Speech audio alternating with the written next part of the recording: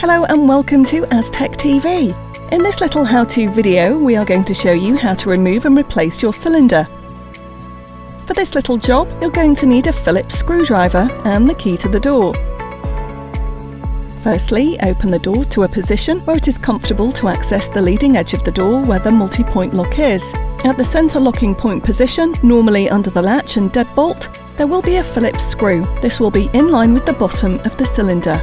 The head of the screw will be approximately 10mm. Remove the screw and with the key in the cylinder, rotate the key about 5 degrees in both directions while gently pulling the key towards you. Once you get the correct position, the whole cylinder will slide out. Before fitting the new cylinder, check to see if it has an internal and external side. This will be printed or etched onto the side of the cylinder.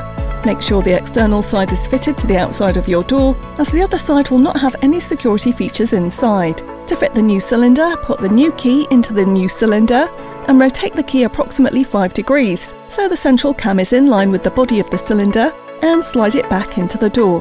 Position the cylinder correctly and refit the fixing screw. Test the cylinder before closing the door to make sure it works. That's it, you're all done. Thanks for watching. For more instructional videos in this series, please visit our website aztec-windows.com.